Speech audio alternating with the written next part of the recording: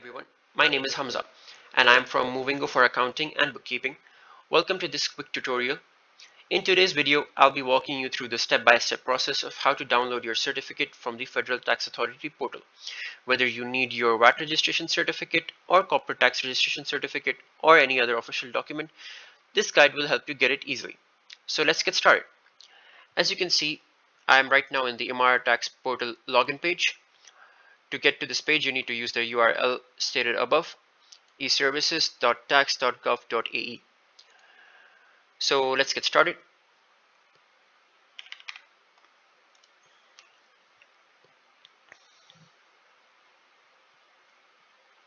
So once we are logged into the portal, this is how it looks like and we will be able to see the company profile that we initially created whenever when we registered for either of their services which could have been for value-added tax or corporate tax or additional services that FTA uh, provides.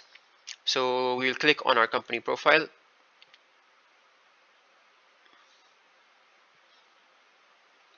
As you can see uh, in this once we click on the company profile, we'll be able to see all of the services that we have availed from FTA.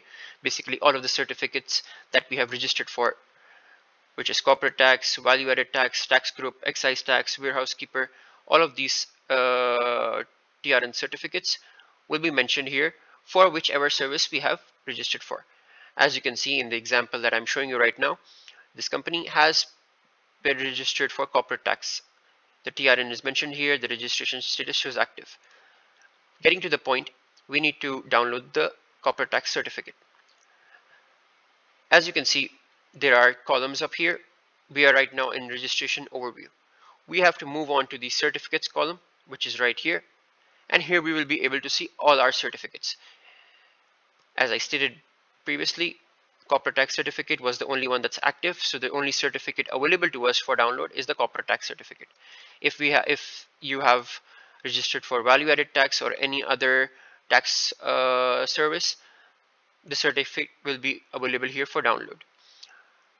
Now all you have to do is click on the three dotted line under action and click on download.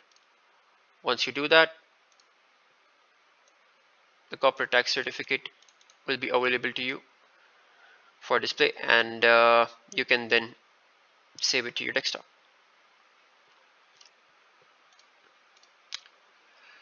And that's it. I hope you found this tutorial helpful. If you have any questions or need further assistance, feel free to reach out to us at Movingo for Accounting and Bookkeeping. Thank you.